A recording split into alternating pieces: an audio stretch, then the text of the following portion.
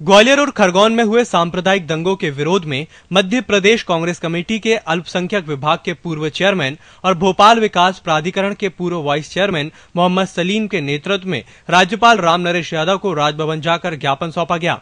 मोहम्मद सलीम ने बताया कि ग्वालियर और खरगोन में हुए सांप्रदायिक दंगों के विरोध में राज्यपाल को ज्ञापन सौंपकर दंगों में घायल हुए दोनों समुदाय के लोगों को उचित मुआवजा देने, दंगा करने वालों पर सख्त कार्रवाई करने, बजरंग दल और आरएसएस की भूमिका की जाँच करने और इन दंगों में जिनको भी आर्थिक नुकसान हुआ है, उनको जल्द से जल्द उचित मुआवजा देने जैसे संबंधी मांग की गई है।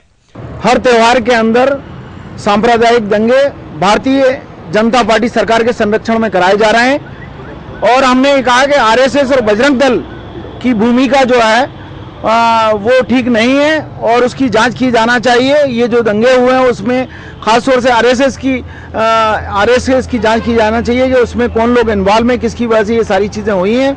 और इसको लेकर हमने आज यहाँ पर ज्ञापन दिया है कि जो बेकसूर हिंदू और मुसलमान की गिरफ्तारी हुई है उनको छोड़ा जाए। और जिन लोगों की दुकानें मकान जलाए गए हैं और जिन जो घायल हुए हैं, उनको उचित मुआवजा दिया जाए दोनों समुदाय के लोगों को। वहीं मोहम्मद सलीम के साथ अनवर सिद्दीकी, हैदर यार खान, मोहम्मद रफीक खान, कलीम अख्तर, मनिंदर सिंह, साउदुल हसन, मोहसिन खान, निजामुद्दीन गुड्डू उपस्थित थे। भोपाल से ईएमएस टीवी के लिए कैमरामैन डैनी खान के साथ राम पवार की रिपोर्ट।